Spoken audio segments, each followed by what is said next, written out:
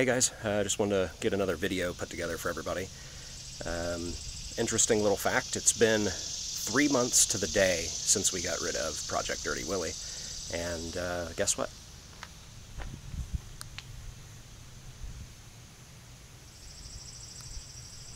It's back.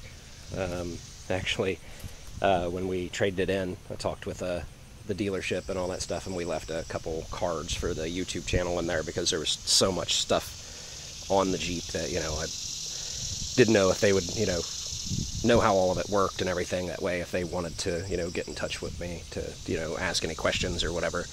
Um, so they did. Uh, there actually ended up being a couple issues. Something's going on with some of the lights, and uh, he contacted me and wanted to know if I would help him out by going through and trying to fix some of it and or see what's going on with it. Uh, I don't think it's going to be anything too major. Uh, so yeah, basically I just wanted to show you guys that three months later and Dirty Willy came back. Uh, so I'm going to get to messing around and uh, see if I can figure out what exactly is going on. Sorry about the wind.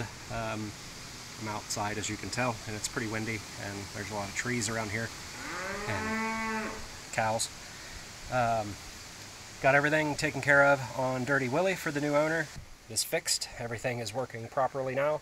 Um, I do need to uh, change over a radio for the guy. The cows are really agitated today. Um, he went to get a new radio done uh, because the touchscreen has stopped on this one. It doesn't work anymore. And uh, he took it to a place and they uh, kind of screwed some stuff up and uh, actually took some parts off and never put them back on and they don't have the parts. So uh, he's looking into getting those parts and uh, replacement radio and I'm going to put that in for him the reason why I'm standing here sweating and rambling on and on is I don't know if you can see it on camera or not, but you might be able to see a reflection of another vehicle that's uh, right here in front of me. I figured uh, I'd go ahead and tell you guys what the new vehicle is. So um, let's uh, go around here.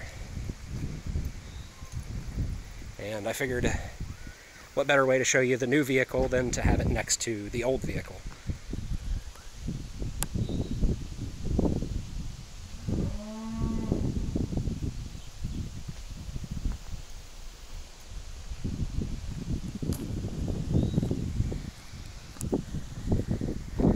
sorry about the wind noise. I'm trying to turn to where there may not be as much wind. Um, so if there is a whole bunch of wind noise, I'm sorry. Uh, there's not a whole lot I can really do about it uh, being outside.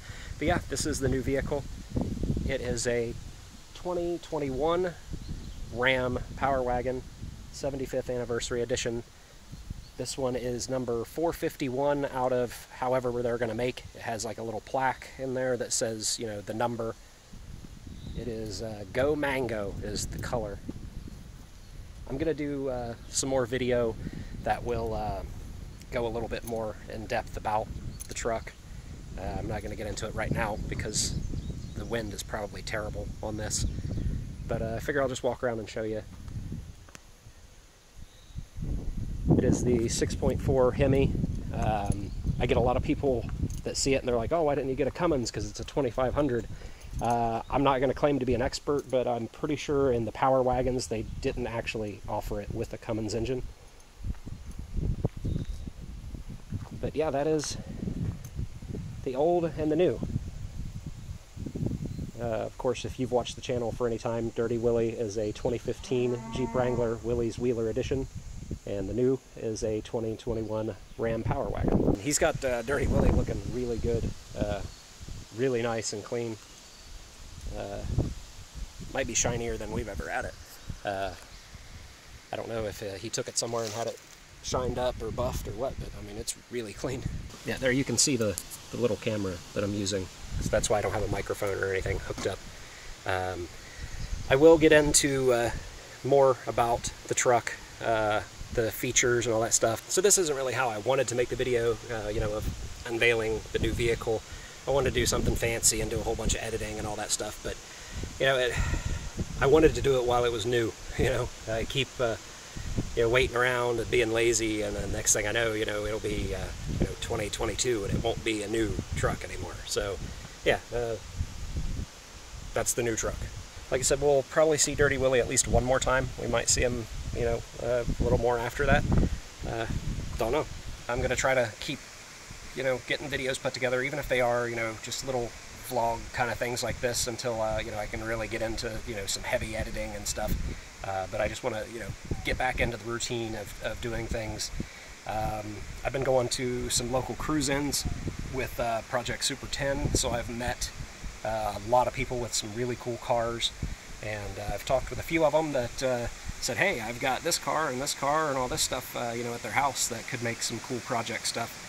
So sometime we're going to take a trip out to a friend's house that has a very interesting collection of vehicles, uh, and uh, I'll show them all to you guys, and then maybe we'll let you guys vote on which one you'd like to see as a project vehicle, or maybe a couple of them. I don't know. Uh, so I think I'm going to cut this while uh, I've kind of got the wind blocked a little bit. So uh, thanks for watching. Uh, if you came across this and you're not one of my subscribers, make sure to go into my channel, check out a couple other videos. I've got all kinds of different stuff in there. Make sure you uh, check out a couple videos while you're in there. If you find a video that you like, hit the like button. If you have something to say, leave it down in the comments. And if you find a couple videos that you like, don't forget to subscribe to my channel.